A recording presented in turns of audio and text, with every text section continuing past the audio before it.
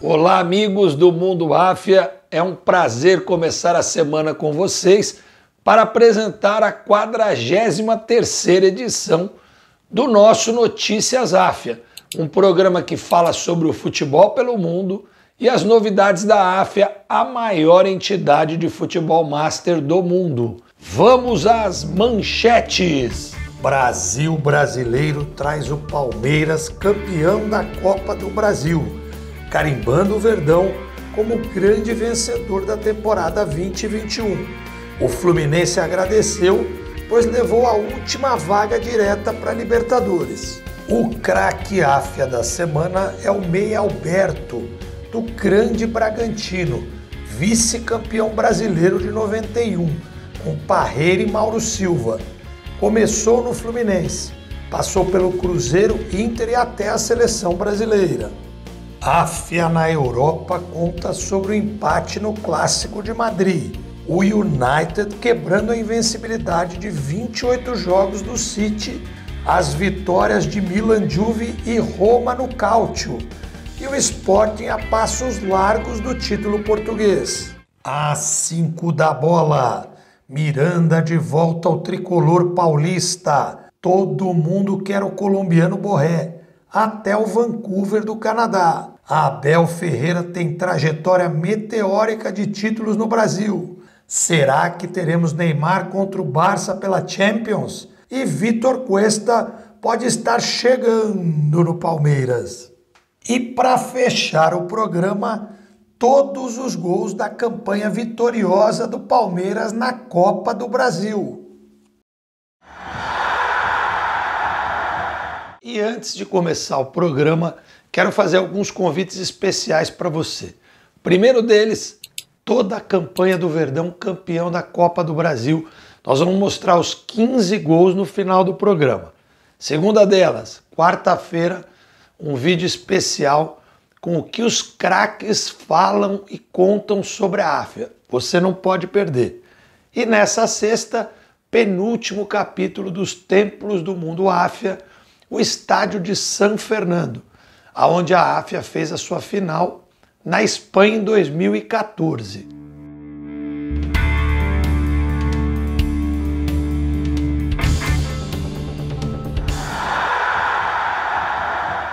Brasil brasileiro conta sobre o tetracampeonato do Palmeiras na Copa do Brasil 2008, 2012, 2015 e agora 2020 uma temporada gloriosa para o viver de Parque Antártica. Foram três títulos, a Tríplice Coroa, ganhou o Paulista, depois a Libertadores e ontem venceu a Copa do Brasil.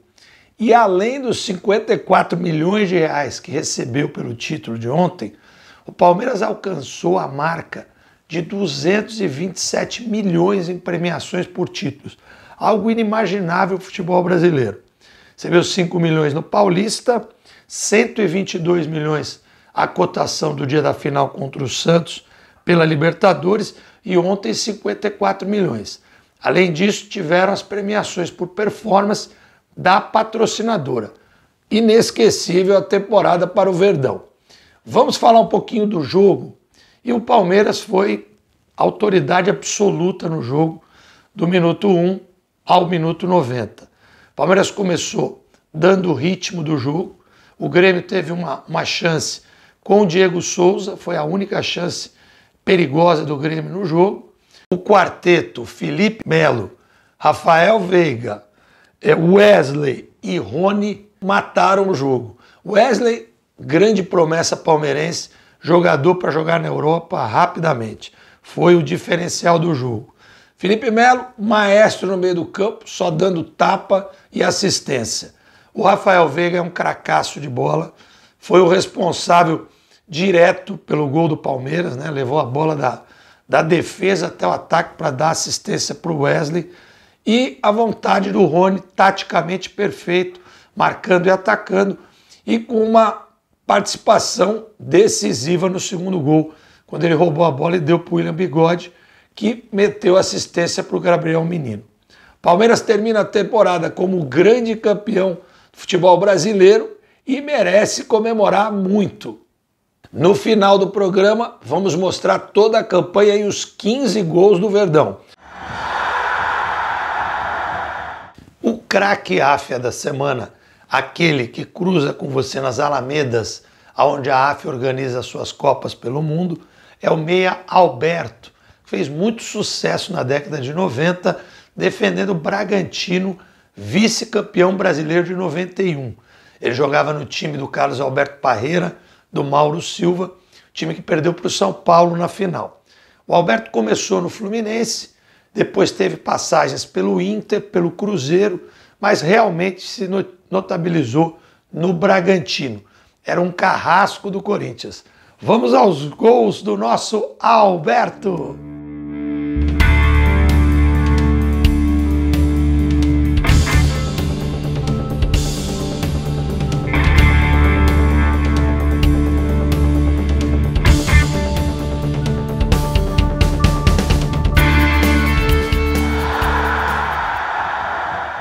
Áfia na Europa e eu vou contar para você tudo o que aconteceu no velho continente nesse final de semana. Campeonato Português, trio tradição. O Leão de Alvalade venceu mais uma, 2 a 1 no Santa Clara. O Porto saiu de casa e também venceu o Gil Vicente. Hoje o Benfica finaliza a rodada. O campeonato tem o Sport com 58 pontos, o Porto com 48 o Braga com 46 e o Benfica com 42, fora da zona das ligas europeias. Vamos falar do espanhol? Teve clássico decisivo do Campeonato Espanhol. 1 a 1 em Madrid, Atlético de Madrid e Real Madrid. O Atlético fez 1 a 0 com Soares, o Real Madrid empatou com Benzema numa assistência do nosso Casemiro. Agora a situação ficou a seguinte: o Atlético tem 59 pontos e um jogo a menos. O Barça, que venceu ontem por 2 a 0, com 56 pontos. E o Real está com 54. Vamos ao italiano e a Inter joga somente hoje. Os três times que estão abaixo da Inter venceram. Juventus venceu 3 a 1. Roma venceu 1 a 0 e o Milan venceu 2 a 0.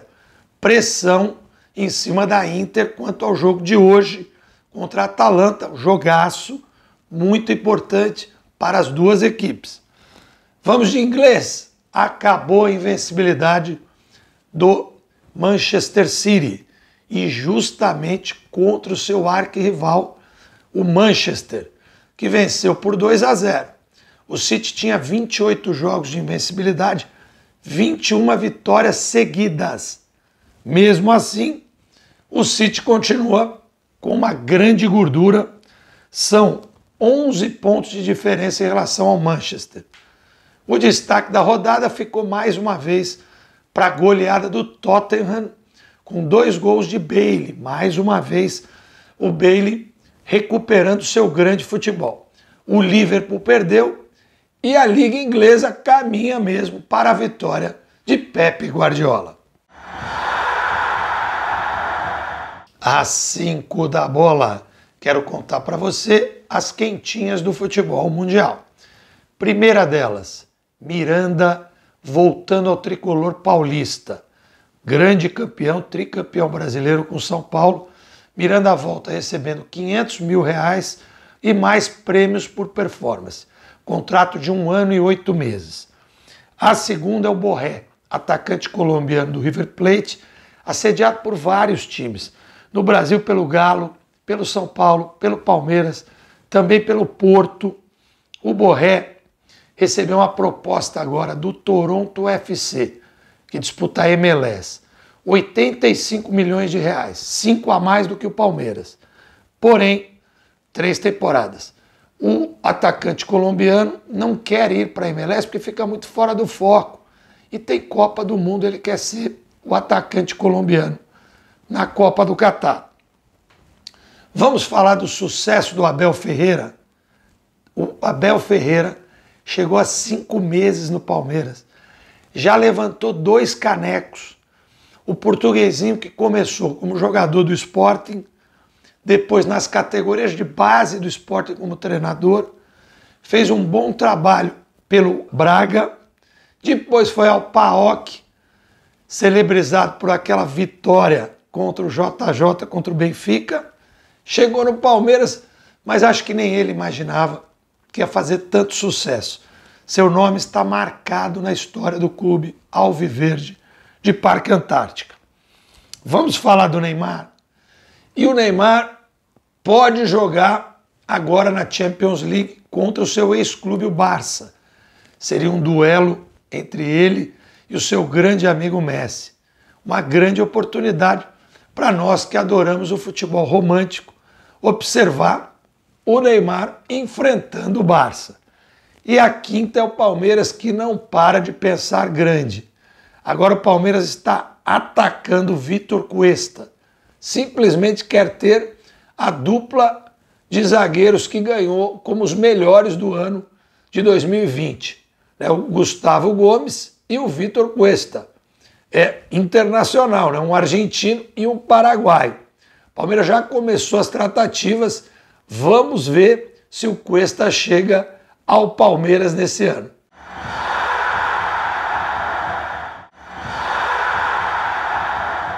Para fechar o programa, eu queria agradecer aos parceiros que retransmitem a nossa programação, dizer que sexta-feira teremos o penúltimo capítulo dos Templos do Mundo Áfia com o estádio de São Fernando, que quarta-feira os craques vão falar sobre a Áfia no nosso vídeo de quarta e agora você vai desfrutar todos os gols do Palmeiras campeão da Copa do Brasil. Um grande abraço, fiquem todos com Deus e ótima semana!